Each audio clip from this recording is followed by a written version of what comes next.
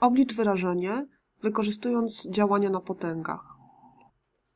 Szukamy podstawy potęg. Tutaj mamy 125, tu jest 5, 25 i 1 piąta, więc wybiorę jako podstawę mm, liczbę 5.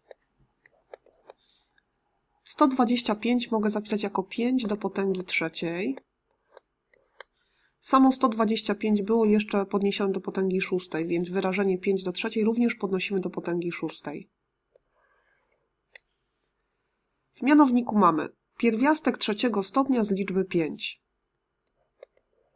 Znak pierwiastka trzeciego stopnia mogę zastąpić potęgą 1 trzecia.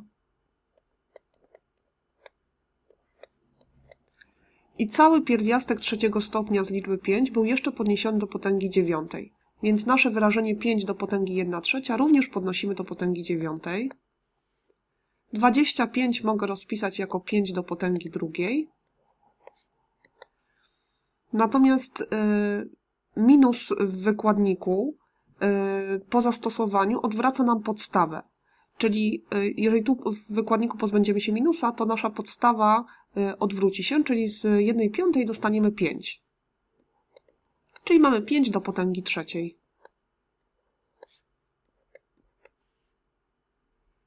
W takim wypadku y, wykładniki mnożymy. Czyli jeżeli mamy 5 do jakiejś potęgi i jeszcze wyższej potęgi, to w takim wypadku y, mm, wykładniki mnożymy. Czyli mamy 5 do potęgi 3 razy 6, czyli do potęgi 18. Tutaj również będziemy potęgi mnożyć, czyli mamy 5 do potęgi 1 trzecia razy 9 to jest 3.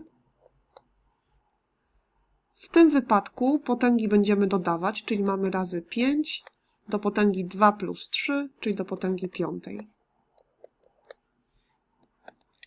Licznik przepiszmy, czyli mamy 5 do potęgi 18. Tu ponownie będziemy potęgi dodawać, czyli mamy 5 do potęgi 3 plus 5, czyli do 8.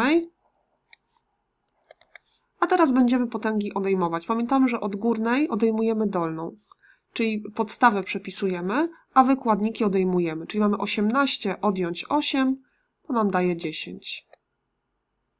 Czyli wynik mamy 5 do potęgi dziesiątej.